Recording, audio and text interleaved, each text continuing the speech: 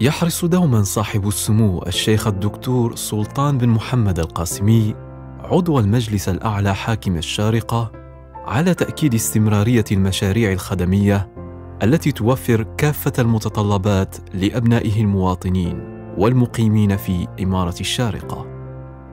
وتجسيدا لرؤيته السامية قامت دائرة الأشغال العامة بالشارقة التي تحث دوما على الاهتمام بنهضة الإمارة وتوفير أفضل سبل العيش فيها بإنشاء أكبر سوق تجاري تخصصي في الشارقة سوق الجبيل من حيث المساحة وتنوع الخدمات وتعدد الأنشطة.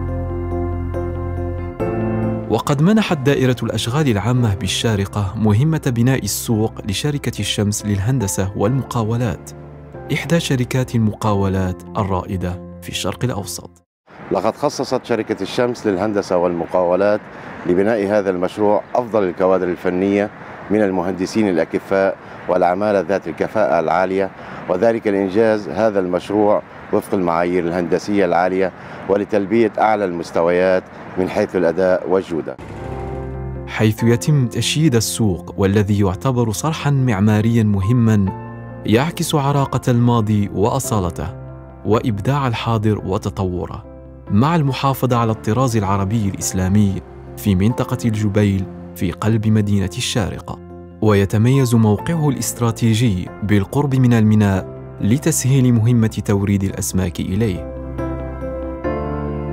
هادفا إلى المساهمة في تنشيط الحركة الاقتصادية في الإمارة يتألف السوق من طابقين بهما 403 محلا ويتضمن ثلاثة أقسام.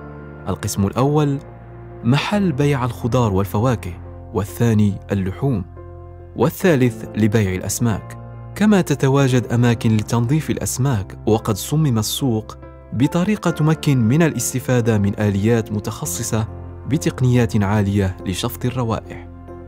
يعتبر سوق السمك الجبيل بالشارقة أحد المعالم العمرانية المميزة التي يتجلى فيها فن العمارة الإسلامي والذي سيتصدر الإنجازات الحضارية في مختلف المجالات.